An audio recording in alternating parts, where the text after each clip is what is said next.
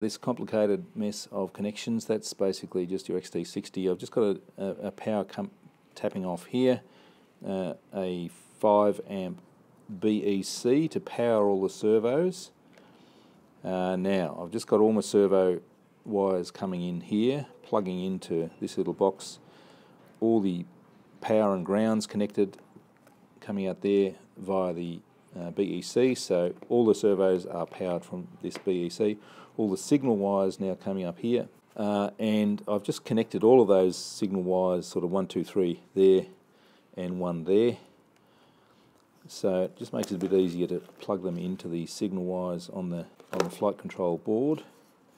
Uh, so that one's the ESC, that just goes into, so ESC goes into Q1. Now this lead is aileron and elevator signal wires and I've just got that sort of plugged in across like that. And this one is the rudder signal wire plugs into the end. It's just sort of a, a neater way of plugging them in like that. Flight control board is just I just had that sitting there.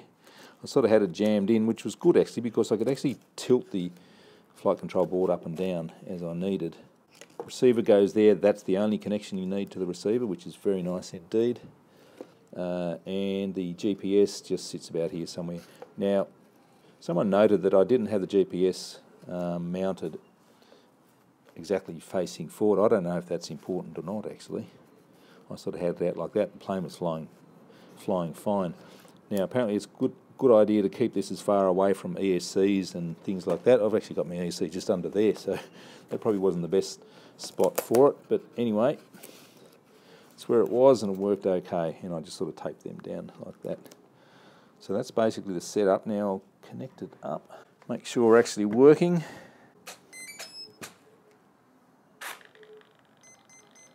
So I haven't really worked out the flashing lights here, uh, but I do know that when you get a red flashing light, the GPS has attained a home position and you can fly as usual. Okay, so it looks like it goes red when you arm the motor. Not going to get throttle control until we get a GPS lock. Alright, so I've taken it outside and if you can see that red flashing light there, that means that we've acquired enough satellites to be able to fly in GPS modes.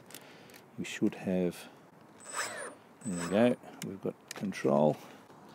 So that's acro mode, a little bit of uh, stabilisation. That's horizon mode and you probably can't see it but the aileron's coming up when the wing lifts up. That's self-level mode so if I turn it upside down that's going to try like crazy to get me back up the right way again. That's working well. Okay, that would be ready to fly.